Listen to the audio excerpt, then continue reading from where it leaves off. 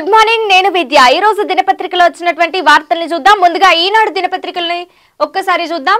ఇక బీబీసీపై ఐటీ కన్ను అంటూ కూడా బ్యానర్ ఐటాన్ని ప్రచురించింది. ఇక ఢిల్లీ ముంబై కార్యాలయాల్లో సోదాలు పన్ను ఎగవేత అనుమానంతో వివరాలు ఆరా తీస్తుంది. ఇక ల్యాప్టాప్లు మొబైళ్ళ స్వాధీనం ప్రధాని మోదీపై డాక్యుమెంటరీ ప్రసారం చేసిన కొన్నేళ్ళకి ఈ చర్యలు. ఇక ఐటీ సోదాల నేపథ్యంలో ఢిల్లీలోని బీబీసీ కార్యాలయం వద్ద భద్రతా సిబ్బందిని మనం ఇక్కడ చూడొచ్చు. ఇక తప్పుపట్టిన విపక్షం ఎడిటర్స్ గిల్డ్ పాశ్చాత్య మీడియా సంస్థలు. కొన్ని రోజులుగా ఈ బీబీసీ చర్చ నడుస్తూనే ఉంది. ఇక మరో అంశం భయపడేది లేదు దాపరికాలు లేవు. ఆదాని వివాదంపై కేంద్ర హోంమంత్రి అమిత్ షా మోదీపై రెండు వేల రెండు నుంచే కుట్రలు జరుగుతున్నాయని ఆయన వ్యాఖ్యలను చూడొచ్చు మనం ఇక్కడ. ఇక మరో వార్త హైదరాబాద్ క్రికెట్ సంఘం ప్రక్షాళన ఆజహార్ వంకా ప్రతాప్ అవుట్ రంగంలోకి supreme court justice Lavu Nageswara Rao ఆధ్వర్యంలో ఏక ఏకసభ్య కమిటీ అంటూ కూడా వార్తను చూడొచ్చు. ఇక మరో అంశం కాంగ్రెస్లో మరోసారి కోమటిరెడ్డి కాక. పార్టీ ఒంటరిగా అధికారంలోకి రాలేదు. రాష్ట్రంలో రాపోయేది హంగ్. కేసీఆర్ మాతో కలవక తప్పదన్న వెంకటరెడ్డి. ఇక వ్యక్తిగత వ్యాఖ్యలన్న ఠాక్రే మండిపడ్డ పలువురు సీనియర్ నేతలు. ఇక వివాదాస్పద వ్యాఖ్యలు చేయడం ఈయనకేం కొత్త కాదు. వేసవి సెలవుల్లోనే ఉపాధ్యాయుల బదిలీ ట్రాన్స్ఫర్లపై మార్చి పద్నాలుగు వరకు హైకోర్టు స్టే విధించింది. ఆ తర్వాత ఇంటర్ పది పరీక్షలు. ఇక ఈ క్రమంలో ఏప్రిల్ ఇరవై నాలుగు తర్వాతే ప్రక్రియ పునర్ప్రారంభానికి అవకాశం. ఇక మళ్ళీ ఎండాకాలం సెలవుల్లోనే బదిలీలు అంటూ కూడా వార్తను చూడొచ్చు విద్యార్థులే. ఇక సీతారామ సీత సీతాలమ్మ సాగర్ల వ్యయం పద్దెనిమిది వేల తొమ్మిది వందల కోట్లు సవరణ డిపిఆర్ల పార్కన్న నీటిపారుదల శాఖ కేంద్ర జల సంఘానికి ఈ సమర్పణ విడుదల చేశారు.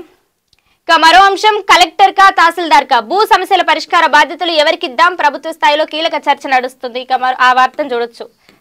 ఇక ఇవి ఈనాడులో వచ్చినటువంటి ప్రధాన అంశాలు. నమస్తే తెలంగాణ పేపర్ను చూద్దాం. నమస్తే తెలంగాణలోనూ కూడా బీబీసీ కేంద్రంపై ప్రశ్నించే గొంతుపై మోదీ సర్కార్ కత్తి సోదాగిరి. అంతర్జాతీయ వార్తా సంస్థలకు తప్పని వేధింపు. ఢిల్లీ ముంబై ఆఫీసులపై ఐటీ బృందాల దాడులు. మోదీపై డాక్యుమెంటరీ ప్రసారమైన కొద్ది రోజులకే కక్ష సాధింపులో భాగమైనట్టు విమర్శలు వెల్లువెత్తుతున్నాయి. ఇక మోదీ ప్రభుత్వ చర్యలు అంతర్జాతీయంగా దుమారం రేగుతున్నాయి. ఇక దీనికి మంత్రి ఐటీ శాఖ మంత్రి కౌంటర్ కూడా ఇచ్చారు. ఈటీ ఈడీ తర్వాతి రైట్స్ హిడన్బర్గ్ పైనైనా? ప్రధాని మోదీపై బీబీసీ డాక్యుమెంటరీ ప్రసారం. చేసిన కొన్ని వారాల తర్వాతే ఆ సంస్థ కార్యాలయపై ఐటీ దాడులు జరిగాయి. ఐటీ ఈడీ సిబిఐ బీజేపీ ఆడించే తోలుబొమ్మల్లా మారడం హాస్యపద హాస్యాస్పదంగా ఉందంటూ ఆయన వ్యాఖ్యలు మనం మీరు చూడొచ్చు. ఇక తర్వాత ఏంటి? హిడన్బర్గ్ సంస్థపై ఈడీ దాడులు చేస్తుందా? లేక దాన్ని ప్రత్యర్థి సంస్థ కొనేస్తుందా అంటూ కూడా పురపాలక శాఖ మంత్రి కేటీఆర్ ఆ వ్యాఖ్యలు చేశారు. ఇక మరో అంశంగా టీచర్ల బదిలీపై హైకోర్టు స్టే విధించింది అదే వార్తను. నమస్తే తెలంగాణలో కూడా చూడొచ్చు. బదిలీ నిబంధనలపై పిటిషన్లు దాఖలు కౌంటర్ దాఖలుకు సర్కార్ ఆదేశం. విచారణ మార్చి పద్నాలుగు వరకు వాయిదా పడింది. టెన్త్ విద్యార్థులకు నేటి నుంచి స్నాక్స్ నాలుగు వేల ఏడు వందల ఎనభై ఐదు స్కూళ్ళలో ఒక వెయ్యి ఎనభై తొమ్మిది వేల ఏడు వందల తొంభై ఒక్క మంది విద్యార్థులకు ప్రయోజనం చేకూరుతుంది అంటూ కూడా వార్తను రాసింది. ఇక ఆదానికి సంబంధించిన యూపీఐ నాటి కుంభకోణంలో ఆదాని కంపెనీ పేరు మొదటి రెండు ఛార్జ్షీట్లో గుడామీని చేర్చిన ఈడీ.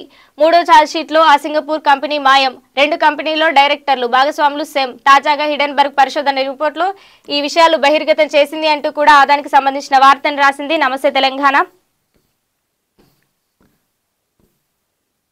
మరో అంశం ద్రవ్య వినిమయ బిల్లుకు గవర్నర్ ఆమోదం తెలిపింది. గెజిట్ నోటిఫికేషన్ను కూడా జారీ చేసింది. హెచ్సిఏకు ఎన్నికలు పర్యవేక్షకుడిగా జస్టిస్ లావ్ నాగేశ్వరరావు సూపర్వైజర్ కమిటీని రద్దు చేసిన సుప్రీం కోర్టు. ఇవి మొత్తంగా ఈ రోజు దినపత్రికలో వచ్చినటువంటి ప్రధాన అంశాలు. చూస్తూనే ఉండండి టీఎస్ ట్వంటీ ఫోర్ న్యూస్. ఆత్మ గౌరవ ప్రతీక.